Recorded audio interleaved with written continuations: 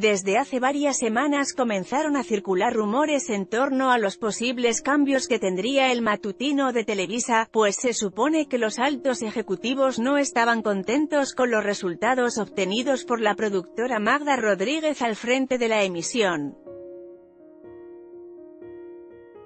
Magda Rodríguez abandonó TV Azteca para tomar la batuta del programa Hoy a principios de este año y se dijo que el show llegaría a la cima gracias a la productora, sin embargo, parece que no fue así.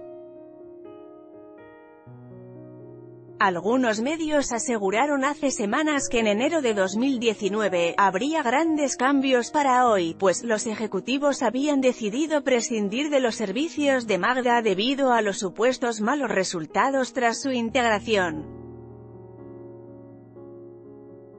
No obstante, solo se trató de un falso rumor, pues según el periodista Alex Caffey en su columna para El Heraldo, no habrá ningún tipo de cambio dentro del programa hoy. Hace días en el programa radiofónico Fórmula Espectacular aseguraron que hoy va a tener, en enero, cambio de productora y conductores. Hice pesquisas. El único cambio que el matutino de las estrellas Canal 2 sufrirá es el retapizado de su sala. SIC. Algunos periodistas habrían asegurado los cambios con la intención de crear polémica en torno al matutino de Televisa y sus integrantes.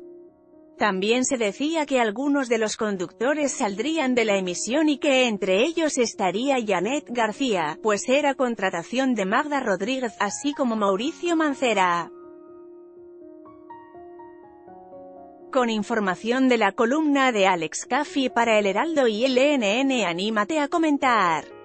Queremos saber tu opinión. Comentarios Powered by Facebook Comments.